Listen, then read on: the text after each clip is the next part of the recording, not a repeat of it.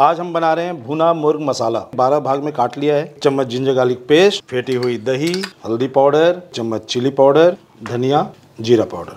काली मिर्च पाउडर अच्छे से मैरिनेट कर दें।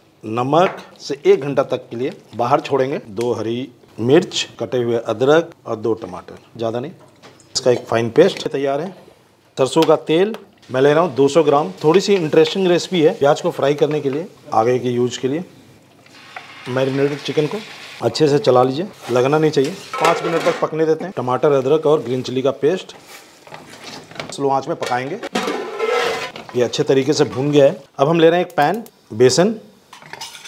बेसन हमारा भून गया है। अच्छे से अब इसे हम साथ में और अच्छा मसालेदार नज़र आएगा। जिंजर जूलियन सबसे पहले करके निकाल और इंटरेस्टिंग रेसिपी है। कटा हुआ धनिया, या नींबू का जूस भुना चिकन मसाला तैयार है।